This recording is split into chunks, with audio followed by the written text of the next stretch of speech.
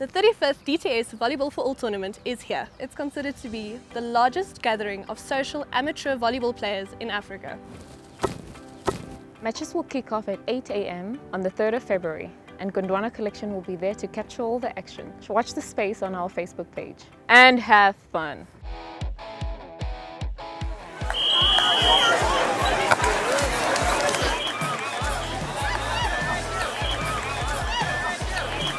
Perfect time of year for a huge competition like this.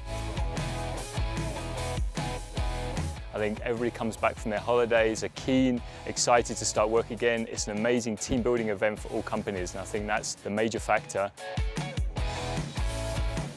The original idea came from Martin and Andre Lukat, who were guest players in the volleyball section in 1983.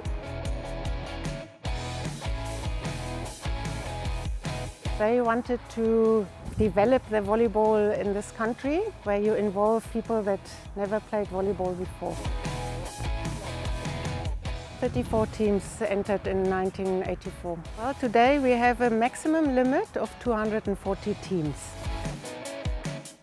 Yeah, we have a massive uh, demand for teams wanting to end enter volleyball for all. I've been involved as tournament director for the last four years and every year we've filled our quota of 240 teams. Every year we try to get something new into the tournament. For example, now this year we will have some special medals.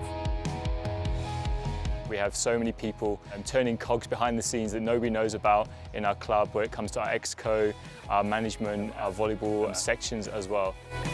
Bring a lot of fun and team spirit along because that's what the tournament is about bring sunscreen. You know, we're sat, you're sat outside in the sun all day long, that's a big one.